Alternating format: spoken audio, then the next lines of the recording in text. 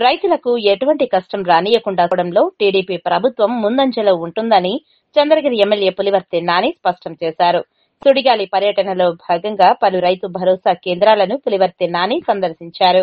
ఈ కార్యక్రమంలో భాగంగా ప్రతి రైతు భరోసా కేంద్రంలో అధికారులు పులివర్తి నానిని శాలువతో సత్కరించి పుష్పగుచ్చం అందజేసి ఆహ్వానించారు.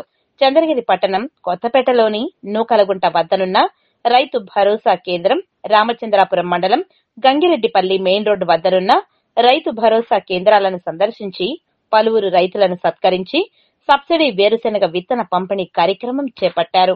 ఈ సందర్భంగా పులివర్తె నాని మాట్లాడుతూ రైతులే దేవుళ్ళుగా దివంగత నేత ఎన్టీ రామారావు పేర్కొన్న విధంగా ముఖ్యమంత్రి చంద్రబాబు నాయుడు పాలన సాగుతుందని స్పష్టం చేశారు. రైతులు వేరుశెనగ విత్తనాలు సద్వినియోగం చేసుకోవాలని పిలుపునిచ్చారు. కరువు సమయంలో రెయిన్ గన్స్తో పంటలను కాపాడిన ఘనత చంద్రబాబు నాయుడుదని గుర్తు చేశారు. అధికారులందరూ ఒకే కుటుంబ సభ్యులుగా భావించి అభివృద్ధి కొరకు ముందుకు సాగాలని అధికారులకు ముఖ్యంగా మహిళా అధికారులు ఏదైనా సమస్యలు ఉంటే తమ దృష్టికి లేదా సతీమణి సుధారెడ్డి దృష్టికి తీసుకుని రావాలని కోరారు. ప్రజా సమస్యల పరిష్కారానికి అధికారులందరూ చొరవ చూపాలని అన్నారు. అగ్రహారం కూడలి నుంచి రాయల చెరువు కట్ట వరకు రోడ్డు విస్తీరణ పనులను త్వరలోనే ప్రారంభం చేస్తామని హామీ ఇచ్చారు.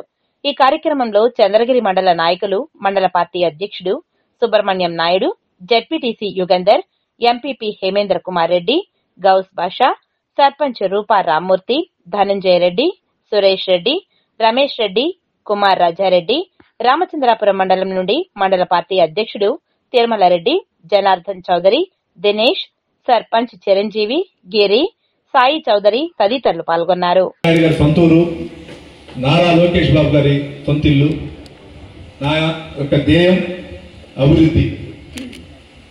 అభివృద్ధి లక్ష్యంగా నేను వెళ్ళదలుచుకున్నా ఐదు సంవత్సరాలు అంటే కూడా నా లక్ష్యం నాలుగు లక్ష నాలుగు సంవత్సరాలే. ఈ నాలుగు సంవత్సరాల్లో ఏ గవర్నమెంట్ ప్రోగ్రాం జరిగినా ఏది జరిగినా నేను కంపల్సరీ అటెండ్ అవుతానని ఈ సభావం కూడా ఇక్కడున్న అధికారులందరూ కూడా తెలియజేసుకుంటున్నాను